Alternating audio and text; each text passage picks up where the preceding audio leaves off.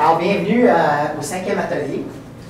Euh, comme vous avez peut-être pu constater euh, ce matin, j'ai juste envoyé un petit rappel. J'avais changé le nom de l'atelier parce qu'on ne savait pas qu'est-ce qu'on allait faire. C'est vraiment un, atelier symposium ouvert. J'ai voulu, parce que comme j'ai parlé avec Georges et Brian, j'ai voulu essayer de trouver un sujet qui pourrait bénéficier tout le monde, mais surtout qu'on est un petit groupe.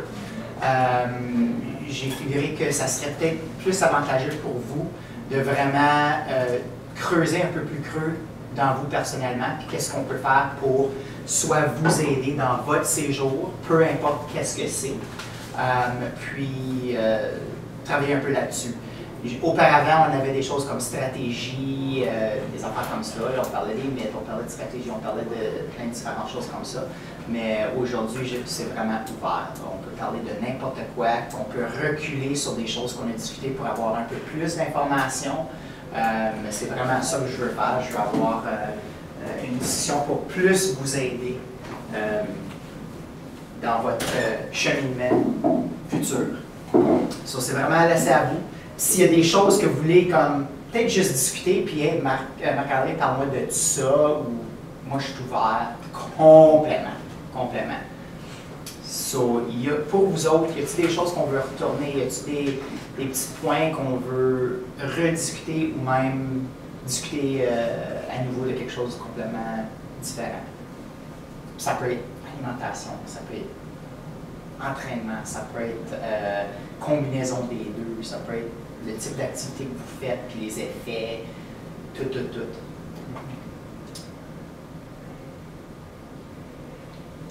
Continuer à faire des activités, c'est toujours un bon. Ben, C'est juste euh, ne pas comme se forcer à faire plus parce qu'à un moment tu vas être tanné pour après tu vas dire ok tu sais quoi? Ça me tente plus de même faire La même chose j'essaie pour l'alimentation je peux pas dire ok toujours j'ai le meilleur choix parce que si tu fais ça toujours toujours à un moment tu vas dire tu sais quoi? Comme prendre une bière ou bien du vin comme tu vas dire ok tu sais quoi donc je vais retourner à c'est ça. quoi, euh, j'essaie de, toujours euh, modération, comme on Mhm. dit.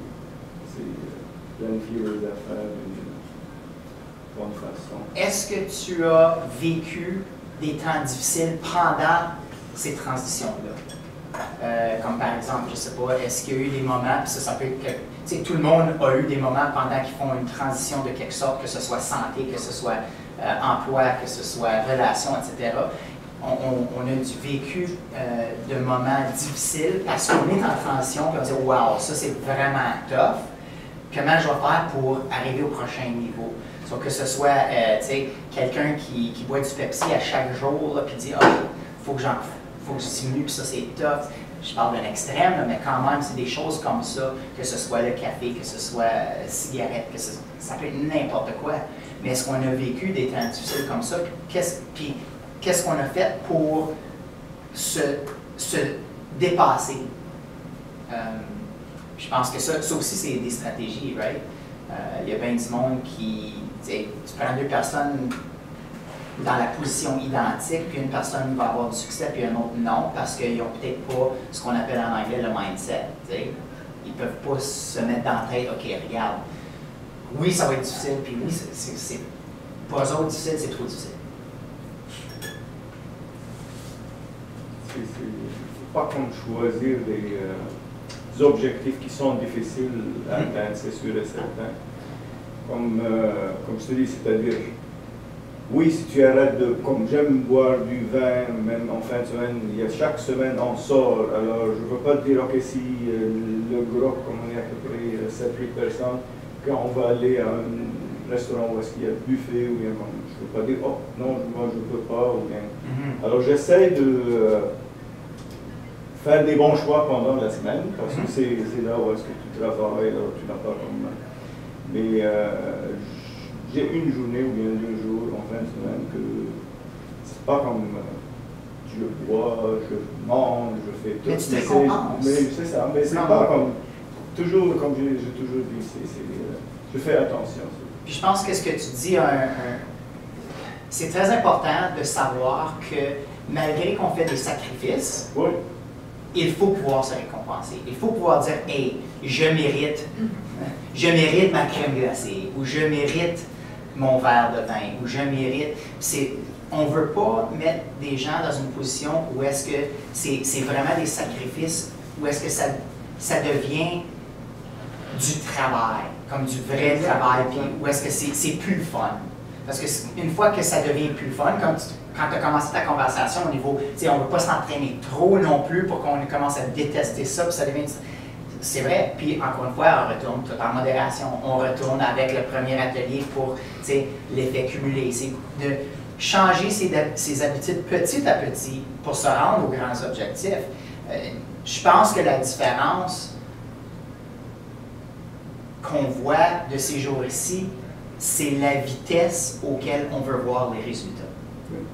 On veut toujours les voir rapidement, le plus rapidement possible, sans vraiment prendre en contexte que de pouvoir le faire aussi rapidement, tu as plus de sacrifices à faire. Puis c'est quand on voit tous ces sacrifices-là, c'est comme, ah non, ça c'est trop. C'est comme notre to-do list. Quand tu as une liste de 100 choses à faire, tu regardes la liste et tu dis, ah, oh, ça ne me tente vraiment pas, tu fais rien. Au lieu de dire, c'est quoi mon top 3 aujourd'hui ou mon top 3 pour la semaine? OK, top 3, pas de problème. Il va toujours avoir une liste de 100 choses à faire. Ça, c'est juste de, pouvoir décortiquer en petit pour dire, OK, ça c'est parti, ça c'est fait, ça c'est fait, ça c'est fait, au lieu de, ah, c'est trop gros, ça ne me tente pas de commencer. C'est la seule chose qui marche pour moi.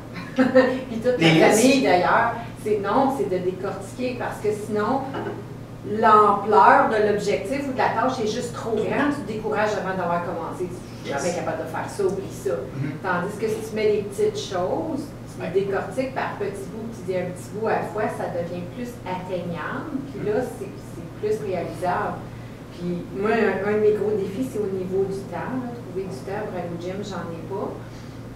Puis, je sais pas si c'est bon ou pas, mais pour moi, c'était bon. Ce que j'ai commencé à faire plusieurs années passées, c'était des choses comme je ne suis pas stationnée proche de la porte, je suis plus loin, il faut que je marche. Je ne prends jamais d'ascenseur, à moins que je suis en train de transporter quelque chose de lourd. Je prends toujours des escaliers. Je fais plein de petites choses comme ça, même à la maison. Des fois, j'ai des choses à monter en haut, puis au lieu de tout me remplir les bras, j'en prends une partie, je monte en haut, je redescends, je reviens chercher le reste, juste pour que je monte les escaliers deux fois. Je me dis ça, c'est plus d'exercice que si je assis sur ma chaise. Ouais. Ça commence comme ça. Beaucoup de résultats, mais. Mais ça commence c'est qu'après que tu l'as fait un petit peu, tu dis, ah, je suis capable d'en faire un petit peu plus. C'est ça. Un petit peu. Absolument. Même dans l'alimentation, si on est trop restrictif, ça ne marchera pas. Ouais. En tout cas, moi, je ne serai pas là-dedans, personnellement. Il faut qu'il y ait un équilibre. Mm-hmm. euh, mon chum était du genre à avoir un Pepsi tous les jours. Puis là, il a décidé d'arrêter. Puis au début, il a commencé par dire, OK, un ou deux jours. Ouais. c'est mieux. Il a diminué parce qu'il n'en boit plus du tout, puis il perd du poids, puis il ne fait rien d'autre, il a juste arrêté. Mais, des fois, c'est juste, des fois, c'est des, des, des choses comme ça qui peuvent faire une grosse différence au début. Là, tu es comme wow! Mais là, ce qui, ce qui peut être difficile dans ces, moments-là, c'est quand tu enlèves quelque chose qui est très mauvais pour toi, tu commences à avoir des changements de même, puis là, tout d'un coup, ça arrête. Parce que là, tu es, à un seuil comme maximal ou est-ce que là, ton corps est comme OK, parfait, là, je, là, je suis au point de maintenance. Là, tu es comme ben, oui, mais je veux que ça continue. Là, il faut que tu changes une autre petite affaire pour augmenter ce, ce séjour-là. Euh, il y avait quelque chose que tu avais dit qui m'a frappé ou qui m'a euh, que j'ai voulu rajouter là-dessus, mais je ne me rappelle plus. Euh, en tout cas. Mais. Ouais, je sais pas. tâches, en place de gros objectifs. Ouais, je sais pas. Euh. Ouais. Ça va, ça va peut-être me revenir. mais, mais, bref, tu sais, comme on, on, rentre toujours dans, cette, dans, dans ce mode, on doit quand même aimer notre vie. C'est très comme, je vais toujours mentionner, moi, dans n'importe quel atelier, dans n'importe quelle rencontre que je vais faire, que ce soit personnalisé ou en groupe, je vais toujours parler de ce, de, de, ce contexte ou ce, concept de aimer ce qu'on fait, de aimer, aimer notre journée, aimer comme si ça devient trop lourd, émotionnellement et physiquement, on ne regarde pas au lendemain pour dire Ah, oh, j'ai hâte. C'est plus oh, pas encore C'est comme, moi, je comprends pas, honnêtement, les gens qui ont de la difficulté, les gens qui se disent tout le temps, ah non, j'ai hâte à lundi. Ou, excuse-moi, j'ai pas hâte à Ah, j'ai pas hâte à lundi, puis j'ai hâte à vendredi. C'est comme les fins de semaine, ils vivent pour les fins de semaine. Ça, c'est, pour moi, c'est difficile à gérer. Je le comprends, mais pour moi, c'est difficile à gérer. Ça, c'est comment est-ce qu'on peut changer cette mentalité-là pour vraiment être excité de notre journée? Parce que si tu commences comme ça, ça change tout ton concept de comment tu regardes ce que tu fais, comment tu le fais, etc. Euh, sur moi, tu sais, vas-y. Ça fait un cercle. Parce que si tu es comme ça toute la semaine, comme pas l'énergie pour aller faire de l'exercice. tu es trop fatigué. Ouais. Fait que là, tu dis, je vais en faire en fin de semaine, mais là, dans la fin de semaine, là, tu vas faire des choses de fun. Ouais. Tu aller faire quelque chose de dur pour faire de l'exercice. Ouais. Puis je me, je me bats souvent avec certaines personnes dans ma vie à ce sujet-là. Parce que pour moi, tu sais, pour moi, l'argent n'a aucun impact méga positif dans ma vie. C'est sûr et certain que si on se fait beaucoup plus d'argent qu'on fait présentement, il y a un certain changement dans la façon qu'on vit, puis on est peut-être plus content d'une certaine façon. Mais est-ce que ça change vraiment la vie? Puis il y a des études qui prouvent que, je pense que le seuil d'être content au niveau d'argent, c'est 70 000 par année.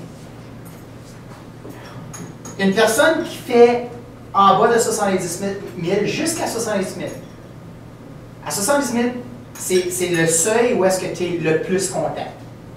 OK? Si tu fais plus que ça, ça ne veut pas dire que tu vas être plus content. C'est tout. Sur les gens qui font des millions des millions, ça ne veut pas dire qu'ils sont plus contents. Puis, ça, me cherche, ça, vient me chercher, c'est comme wow, ça a un impact. Puis, en réalité, quand tu le regardes, puis on c'est des histoires qu'on n'entend pas parler, mais les grands stress de millionnaires, etc., les, dépressions, les suicides, euh, tu sais, l'argent ne, fait, ne donne pas le bonheur.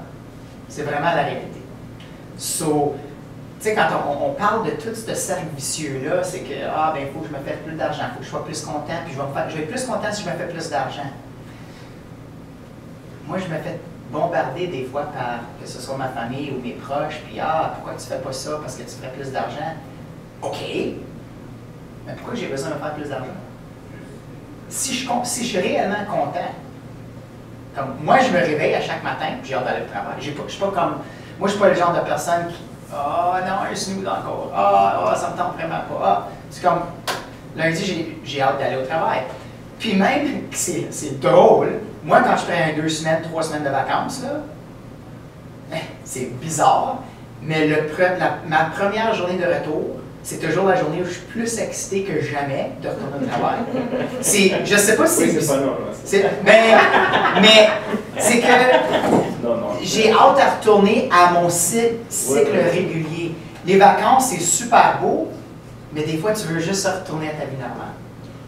Puis moi, j'ai aussi plein de personnes que je connais, ils vont en voyage, puis comme ah, j'aurais pu rester là pour toujours, puis ci, puis ça, puis j'ai pas hâte à retourner à la maison. Moi, je sais que j'aime mon chez-nous quand je suis parti pour deux semaines, puis j'ai vraiment hâte de retourner dans ma maison. comme, ça, ça me dit quelque chose. mais si on retourne, c'est comme, ah, j'ai tellement pas hâte de faire ça. J'ai tellement. C'est comme, wow, mais tu recherches quoi? C'est quoi, ton, c'est quoi ton, ton, désir de te lever le matin? Puis comment est-ce que ça, ça peut changer? Parce que comme tu dis, ça peut. Si tu développes ce concept-là dans ta vie, le reste va changer aussi. Oh. Fais tout ce que tu veux, mange tout ce que tu veux, en autant que ça n'a pas un effet néfaste sur toi et ta santé. Puis en réalité, tu n'as pas ta santé, tu n'as pas rien d'autre non plus. peu importe si tu avais la décision entre une job qui te donne à ça, puis, ta santé va pas être ton niveau de stress. Au début, on est toujours comme Ah oui, l'argent, ça a l'air beau. Mais quand ça, là, tu as tes stress, tu as ta flexibilité qui est là, etc., ça, ça change. Puis là, on le sait maintenant, juste, euh, puis il parle de ça avec les milléniaux, euh, que le besoin pour eux au travail c'est plus important pour eux de trouver un travail qui leur redonne quelque chose en même temps qu'ils donne au monde. Ça, c'est de faire quelque chose qui a un impact. ça, ça, ça, commence à changer cette dynamique-là, puis j'ai hâte de voir qu'est-ce que ça va faire dans 10, 20 ans, euh, parce que ça pourrait changer un petit peu le contexte de comment les gens vivent. Il y avait un... Euh, j'ai vu un documentaire, puis un, il y a un pays où est-ce que tout le monde, peu importe qu'est-ce qu'ils font comme carrière, se fait payer de la même façon, le même montant. Sauf qu'un docteur, un, un, enseignant, un contracteur, un si, un plombier, tout le monde se fait le même montant d'argent. Oh, peut-être, mais moi je regarde ça d'une autre façon. Si nous, on savait que peu importe qu'est-ce qu'on va faire, on se fait tout la même argent. Qu'est-ce qui changerait? On changerait peut-être qu'est-ce qu'on fait. Pourquoi? quelque chose qu'on aime? Right? Si c'est. Puis, je comprends, oui, c'est peut-être communiste. Je ne sais pas, parce que je ne sais pas où. Moi, si je me rappelle bien, ouais, si je me rappelle bien, c'était pas euh, une place communiste. Je ne sais pas, je me rappelle vraiment pas. Mais ça m'a frappé, je suis comme, ouais, si tout le monde se fait le même montant, bon ben, on va travailler plus fort pour faire qu'est-ce qu'on veut, parce qu'on va aimer ce qu'on va faire. Puis en plus, tout le monde se fait le même montant. Il n'y a, a, personne qui se bataille, je veux dire. Ça enlève les euh, classes sociales, les niveaux sociaux. Ben, ça veut-tu dire que c'est mieux? Je ne sais pas. Mais si moi je pense de cette façon-là, je me dis, oui, le monde va choisir des choses qu'ils veulent faire au lieu que. Puis au niveau société, bon ben, ça serait bien mieux. Tu as un prof qui veut vraiment enseigner, qui veut vraiment que les étudiants apprennent. Tandis que c'est pas la personne, parce que même dans mon temps, c'est comme, je connaissais bien des profs, c'était des profs parce que c'était facile, puis il y avait un deux mois de vacances. Mais ouais, mais des profs, pourquoi vraiment, là? Leur choix, c'était à cause de leur temps de vacances. Qui est correct, sauf que. si t'aimes pas qu'est-ce que tu fais, tu fais payer tout le ah. monde autour de toi. Ben, c'est ça. Oh J'en ai vu, moi aussi, des gens en enseignement qui disaient qu'ils détestaient les enfants. Il y a des enseignants primaires. Mais qu'est-ce que tu fais là? Ouais, c'est ça. Ah ouais, En tout cas, je ne sais pas si on était sur une tangente, mais c'est quand même intéressant comme concept. Puis, ça nous fait penser aussi où est-ce que nous autres, on est situés par rapport à comment content que nous autres, on est dans notre vie, euh, avec les choix qu'on fait, etc. Puis, en réalité, si on n'est pas content, on a le choix de changer. C'est ça l'affaire. Puis ça, vous autres, vous, OK, vous prenez un mini-cours, on va l'appeler un mini-cours avec le défi santé, où est-ce que on apprend ou on se fait pousser dans des directions qu'on connaît déjà, mais ça nous aide, ça nous donne une petite poussée. Euh, alors, c'est des choix qu'on fait pour au moins changer des petites choses dans notre vie. Il y a plein d'autres choix qu'on peut faire comme ça. Je pense qu'on se fait toujours prendre, puis on est toujours pris dans une situation où que ça nous tente pas? Ah, on va dire qu'on n'a pas le temps. Puis, j'ai été pris dans la même situation. Ah, j'ai pas le temps, j'ai pas le temps, j'ai pas le temps, j'ai pas le temps. Mais ça, c'est toujours mon excuse. J'ai pas le temps, j'ai pas le temps. Mais la seule raison, réellement, pour moi, quand moi je me, je me dissèque, c'est pas parce que j'ai pas le temps, c'est parce que mes priorités sont autre part. Si je veux vraiment faire ça, je vais le faire. Mais je choisis de faire quelque chose d'autre pendant mon temps. Parce que tout le monde a 24 heures. Des fois, tu as des responsabilités. Absolument. Tu as peut-être une surcharge de responsabilités qui fait que tu ne peux pas faire les choix que tu voudrais yes. faire aussi. Exactement. Exactement. Ouais. Je veux-tu prendre une tangente différente? Yes! Fait. Je vais prendre ta place si tu as quelque chose à dire.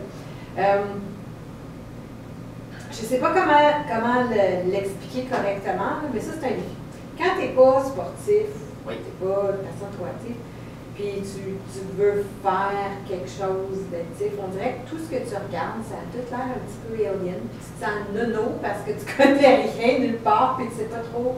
Je ne sais pas comment, comment expliquer ce feeling-là, mais ça, ça, a un impact sur les objectifs parce qu'à quelque part, ça rend ça le fait paraître non atteignable.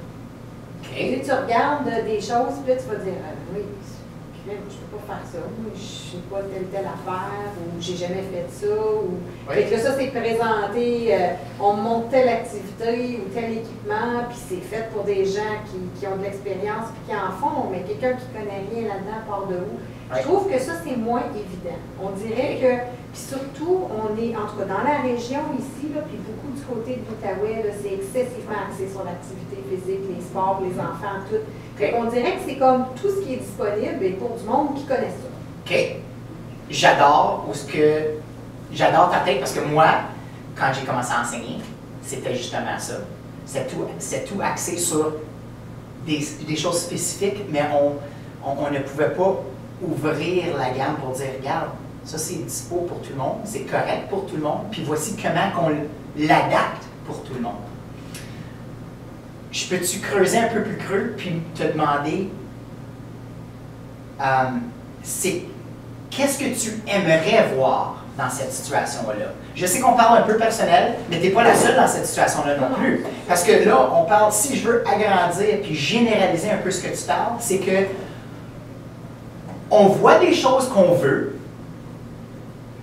on ne se sent pas assez confortable pour dire soit que je peux me procurer ça, Tu sais, on le veut tellement ou on, on veut une partie, mais on a tellement peur de prendre les étapes pour se le procurer qu'on finit par juste le regarder et dire Ouais, c'est beau. Ça, je généralise un petit peu, mais est-ce que je, est-ce que je pense de la même façon? C'est que, puis tu dis, c'est atteignable, mais peut-être pas pour moi. C'est.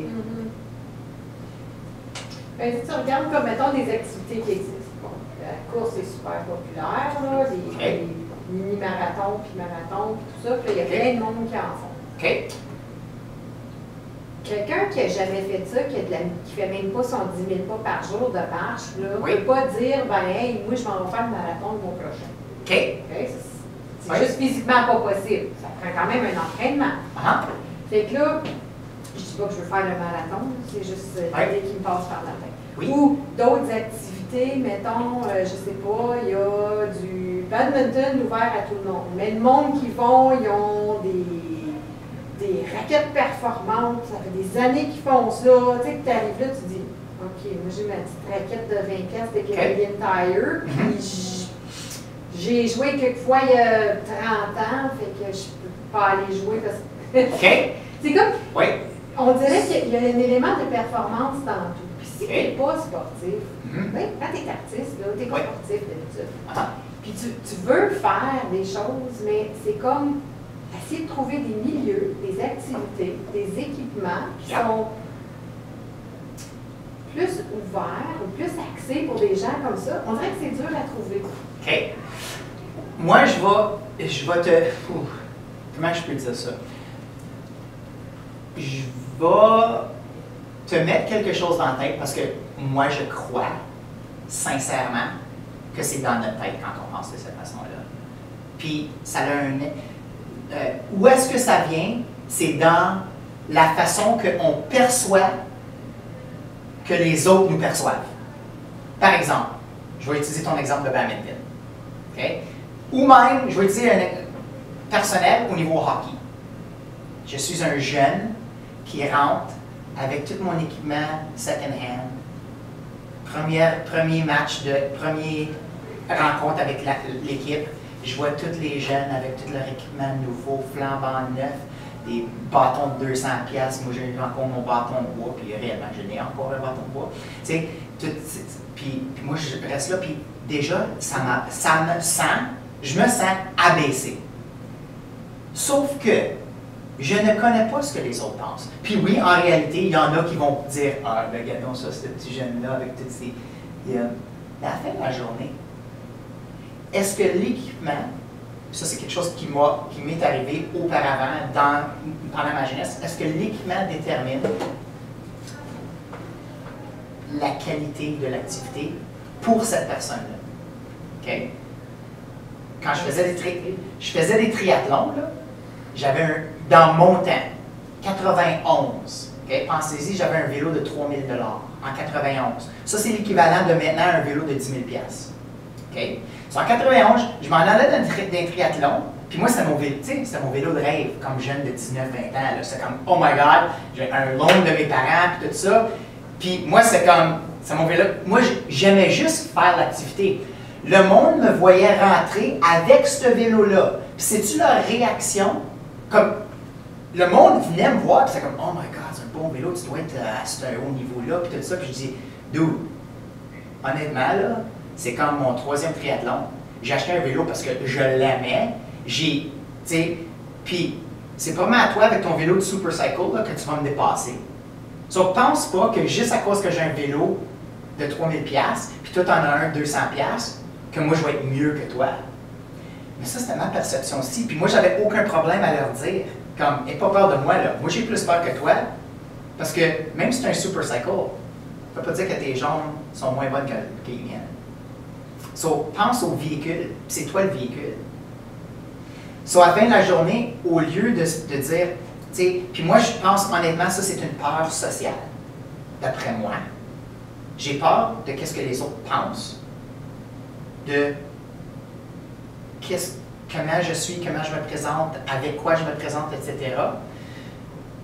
Mais on vit, d'après moi, on vit dans un monde un peu plus reconnaissant de nos différences reconnaissant de nos, je sais pas, euh, que ce soit déficience, que ce soit, peu importe, si on est plus, plus prêt à aider.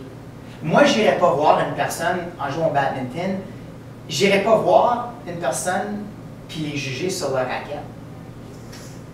Mais ça, c'est juste une partie. Parce oh, que quand même, on vit dans un monde qui est très axé sur la performance, qui est très compétitif. Tu sais, ton exemple, tu arrives euh, pour ta game de hockey avec ton petit équipement de seconde main. Est-ce que c'est ta première game puis tu es avec un groupe que ça fait cinq ans qu'ils jouent? Mm-hmm. Ça, ça change tout, là. Parce que la perception, c'est que c'est bien beau de dire, OK, je me fous ce que les autres disent. Sauf que si les autres, ils écoutent ton jeu, tu sais pas jouer, fait qu'on n'aime pas ça jouer. Toi, tu défais toute nos, notre stratégie. Ou... Oui. Là, tu sais, c'est c'est cette partie-là qui est plus A montré qu'il y a pas assez d'activités sportives pour des non-sportifs. Tu sais, qu'ils sont tous au même niveau, là, de pas bon, là. Oui. Parce que là, ça, ça, peut devenir le fun. Yes! Tandis que si t'es pas bon, t'es nouveau, puis tu joues contre du monde hyper compétitif, euh, puis qu'ils te le font savoir que tu as toutes défait leur stratégie, puis que tu sais pas jouer, ben. Moi, je vais te dire, Lina, d'après moi, puis je suis pas là où est-ce que je cherche, mais je peux te dire qu'il existe plus de groupes que tu penses. Parce connais pas de C'est ça, c'est ça.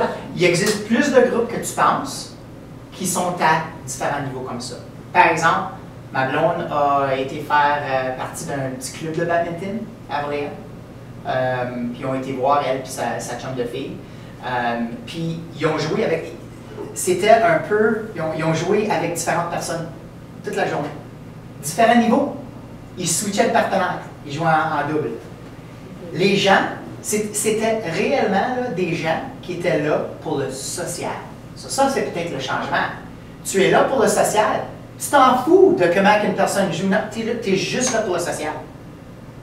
Et on devrait aller pour le bière après. Et euh, c'est comme, le jeu, c'est un secondaire à la réalité de ces groupes-là. Ça peut changer ta perception de l'activité Absolument. physique. Oui. l'activité physique devient le fun, tu vas peut-être vouloir en faire plus. Absolument. So, moi, ce que je, moi, ce que je ferais dans, dans la position d'une personne dans cette situation-là, c'est j'appellerais les organisateurs de, de je ne sais pas trop quoi, puis dire quelle sorte de ligue, est-ce que c'est compétitif, est-ce que c'est récréatif, quelle sorte de gens qui sont là? C'est comme shopping pour n'importe quoi d'autre. Tu pour un docteur, tu pour un métaux, quelle sorte quelle sorte de pneus qu'il y a, quelle sorte de moteur. Ça dépend de tes besoins. C'est un 4 portes, un 2 portes. Ça demande les questions que tu as besoin pour savoir que toi, tu es confortable d'être là. Puis après ça, bon ben, là, tu t'essayes. Parfait, j'ai-tu un free trial? Ou je peux-tu l'essayer une couple de fois, puis sinon je me fais rembourser. Puis, parce que peu importe, faut pouvoir être là pour se sentir comme, sais-tu quoi? J'aime ça, sais ou j'aime pas les neiges. Ça peut être comme n'importe quoi. Ça peut être euh, rentrer dans une maison que tu veux acheter, puis la minute que tu rentres, il y, a une, mauvaise énergie. Ça peut être la maison de tes rêves, mais il y a une mauvaise énergie. Je connais du monde qui sont rentrés dans une maison, puis ont dit Non, je peux pas. Je peux juste pas. Belle maison, mais il y a une énergie que je peux juste pas. C'est la même chose pour toutes nos activités, nos, nos affaires de même. So, oui, je comprends. Euh, mais encore une fois, c'est de se mettre alentour des gens qui pensent comme toi. Ou qui pensent. d'abord. Oui, oui, absolument, il faut les trouver. Moi, il y a euh, une chose que j'ai déjà faite auparavant. Je ne le fais plus maintenant parce que moi, j'ai tellement mon cercle de. j'ai tellement de cercles. Cercle professionnel, cercle de danse, cercle de conditionnement physique, cercle d'amis, cercle. whatever. Mais euh, il y a un site web qui s'appelle meetup.com. Puis Meetup, déjà, vous avez déjà entendu parler? So Meetup.com, il y a des meetups de tous les genres.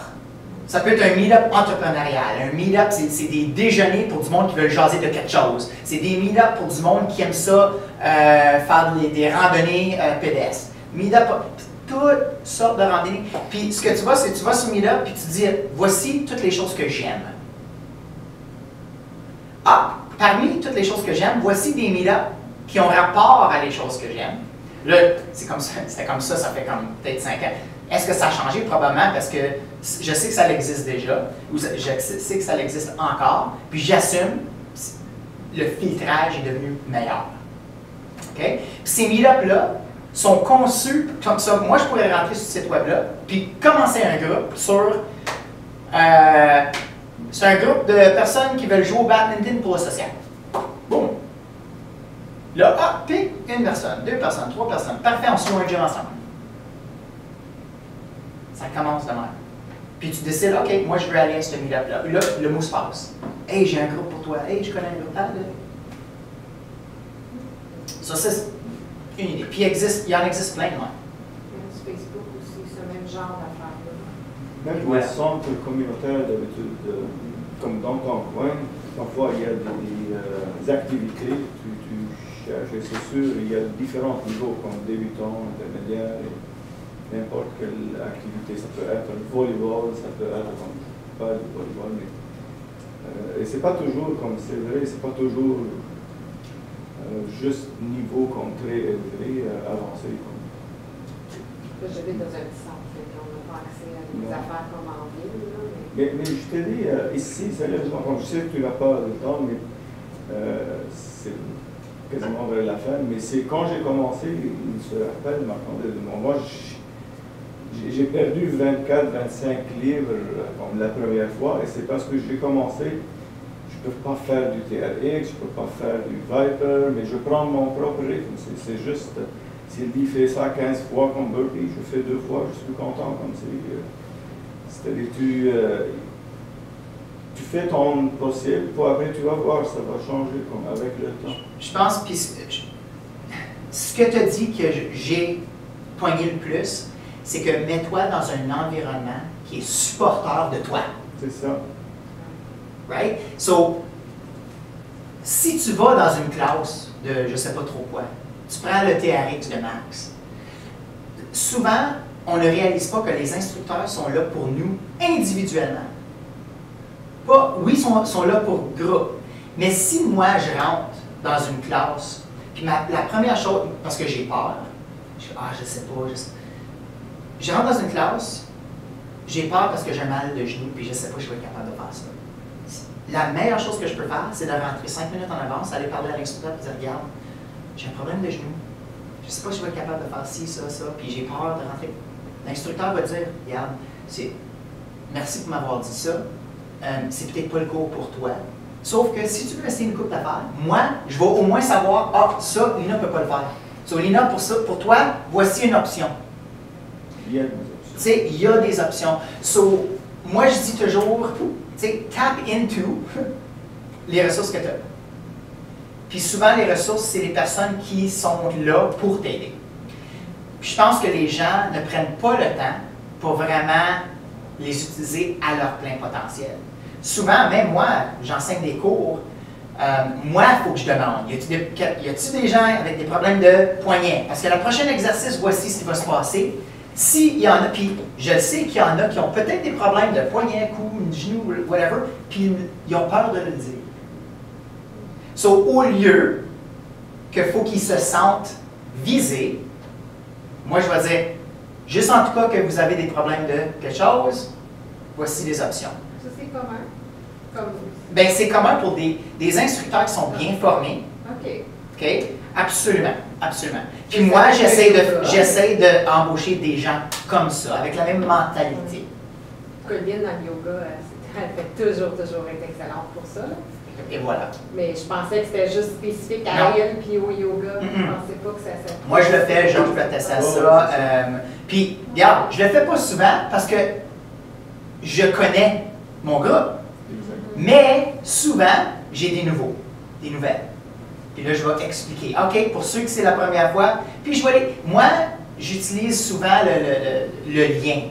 Je vais, je vais taquiner, je vais avoir du fun. Puis je veux, je veux voir à quel seuil que les autres sont avec moi. Puis si je vois qu'ils ne sont pas confortables avec la façon, là, je change un petit peu. Je, je me change pour cette personne-là. Um, oui, les instructeurs ont un gros impact. Mais en retournant avec ce que Georges a dit, mets-toi dans des, situations où est-ce que tu as des gens supporters qui sont là pour toi et pour t'aider. Que ce soit de t'entraîner avec quelqu'un qui te connaît ou, ou même quelqu'un qui est prêt, même si c'est quelqu'un qui s'entraîne là, cinq fois par semaine, on utilise le, concept d'entraînement, c'est quelqu'un qui s'entra- s'entraîne cinq jours par semaine, sont en shape, shape, shape, puis toi, Lina, tu ne te sens pas à ce, à ce niveau-là, mais c'est quelqu'un qui dit Hey, regarde, Lina, si jamais tu veux t'entraîner avec moi, viens. C'est comme Wow, Oh, euh, OK. Ouais, mais je me sens comme Non, regarde, je, je t'ai invité. So, puis il y en a beaucoup des gens comme ça. Moi, je trouve que maintenant, avec euh, l'ère de technologie et tout ça, on a oublié cette connexion personnelle. Right? C'est un autre, ça c'est une grosse tangente, là. Mais on a de la difficulté à vraiment se parler entre un, un l'autre parce qu'on est tellement habitué à être derrière un écran. So, on oublie l'importance de cette connexion-là. So, moi, j'essaie de le faire comme. Moi, j'essaie de. Des fois, mon cours, je m'en vais dans l'autre salle, je vais voir, y a-tu quelqu'un qui ça, te- ça leur tente de. Je sais, je sais, je le fais tout le temps, là. Ça, c'est juste des petites choses comme ça. Toi, t'es comme. Tu ingères, tu. euh, Ben, j'ai commencé à faire euh, de la marche, puis à la maison dans le quartier, là, puis revenir un peu sur des fois, on manque de temps, mais c'est juste une excuse. C'est comme là, la dernière fois, j'ai dit, OK, ben, on arrive à la maison, on va tout de suite fa- faire la marche. On a toujours fait un 4 heures, mais c'était comme, on arrive à la maison, on prend un petit snack, on s'en part la marche, on revient, puis ensuite on a fait le restant de la soirée, puis on n'a pas vraiment perdu plus de temps finalement, hein. on a quand même réussi à faire l'exercice. Avec le beau temps qui, est- qui est arrivé, je suis bien content de faire la marche. Euh, il y avait aussi, comme j'ai arrêté de faire l'exercice euh, lorsque j'ai pogné la grippe, là, ça, ça m'a comme enlevé bien des semaines. Ça, c'est comme une chose que je trouve qui est récurrent chaque année. C'est que tu tombes malade, puis ensuite, c'est comme t'arrêtes l'exercice. Puis ensuite, c'est comme c'est difficile de se remotiver à repartir dans, dans, la, dans notre exercice. OK? Je vis la même chose. OK. Qu'est-ce que, qu'est-ce que vous pensez, pour, comme personnellement, qui cause ça? Comme, oui, on sait que c'est, c'est toujours difficile de se remettre dedans, euh, mais qu'est-ce qui cause ça? Puis c'est peut-être une question qui n'est pas à répondre maintenant. Mais il faudrait, tu sais, moi, je suis un gars très intro- introspectif, je demande bien des questions, même ma blonde, elle choque contre moi, arrête de me demander. Non, mais c'est parce que ça m'aide à comprendre un peu mieux comment, pourquoi, etc. Euh, so, moi, je, le fais pour moi. Souvent, souvent, souvent. Deux anecdotes. Un pour, ben, un qui va aider tout le monde, mais spécifiquement à. Darren Hardy, il y a dans son livre Compound Effect, il parle spécifiquement, puis tu peux le trouver, là, il est en ligne dans quelque part, Darren Hardy, um, Woman Running 10 Kilometers. Ça a le rapport avec ça. Woman Wanting to Run a Marathon. Ça à peu près un 5 minutes. il, le parle, il, parle de ça dans son livre. Puis c'est juste, euh, je pense que c'est une femme qui a, qui, a vu pendant une conférence ou une femme qui travaille avec lui, etc. Puis il y en a deux anecdotes comme ça. Encore une fois, ça a toujours rapport avec compound effect, right? l'effet cumulé. Euh, un autre, c'était au niveau salaire. Tu sais, je veux avoir plus d'argent. Quelqu'un qui travaille pour lui, je veux avoir plus d'argent. Puis il dit, je vais t'en faire un meilleur. C'est un peu le, concept de euh, teach a man to fish. OK? So là, il a dit, au lieu de que j'augmente ton salaire, je te donne un défi. Va faire ça, ça, ça, ça. Puis le plus que toi tu fais là, tu vas, en, rapporter pour l'entreprise, alors moi je vais te donner un pourcentage. So, elle, a fait plus de ce qu'elle était déjà supposée faire, mais là, elle en a fait plus parce qu'il y avait, il y avait un but, un incitatif, puis là, tout d'un coup, elle est devenue consultante pour faire la même chose, puis là, elle se fait trois, quatre fois qu'est-ce qu'elle se faisait auparavant. Parce qu'elle s'est mis un but, un objectif de faire quelque chose d'autre. Le coureur ou la, personne qui dit Ah, ben regarde, moi, je pèse 250 livres, je pourrais jamais faire un marathon. C'était tout.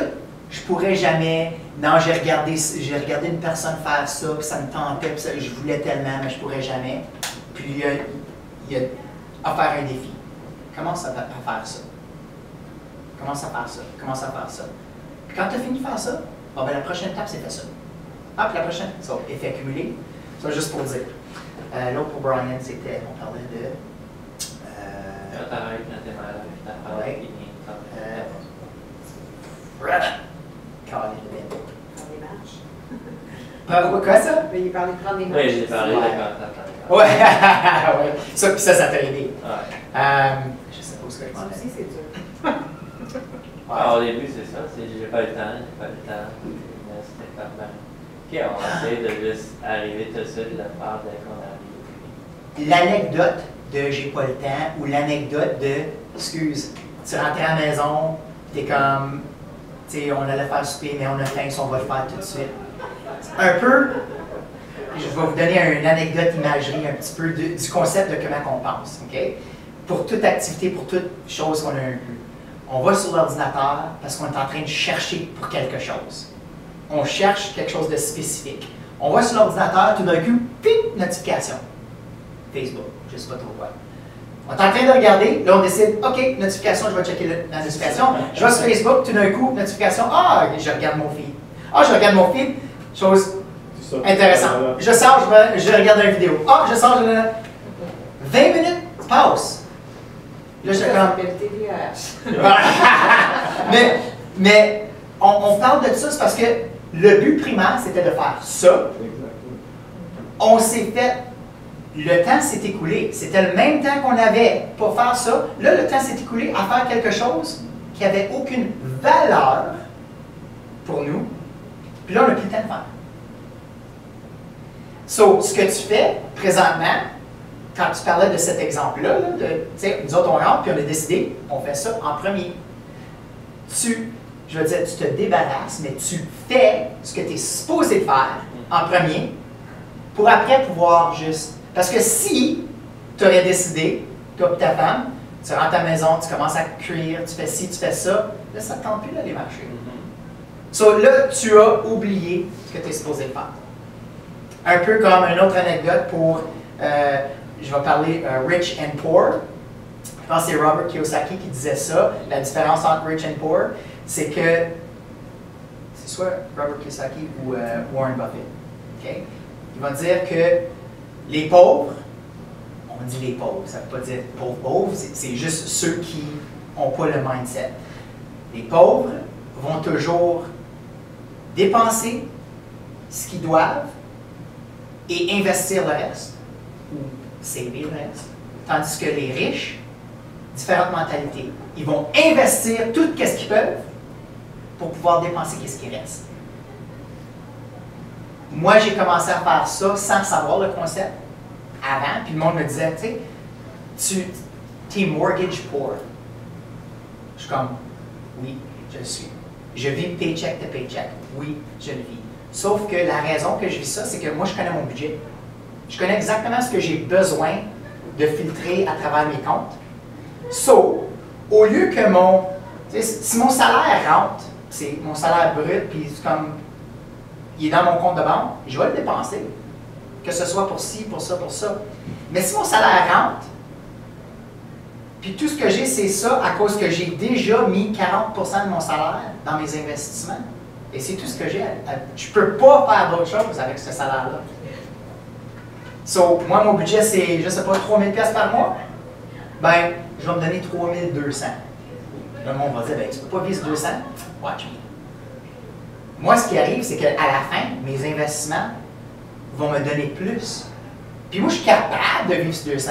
Sauf que si j'avais 600 pièces dans mon compte, je trouverais des façons à l'utiliser. Mais je ne sais pas. Je le fais d'une autre façon. Ma blonde, ça, ça drive folle. C'est ma façon. Mais juste un concept. C'est comme la façon qu'on prédétermine comment qu'on va gérer les choses a un impact.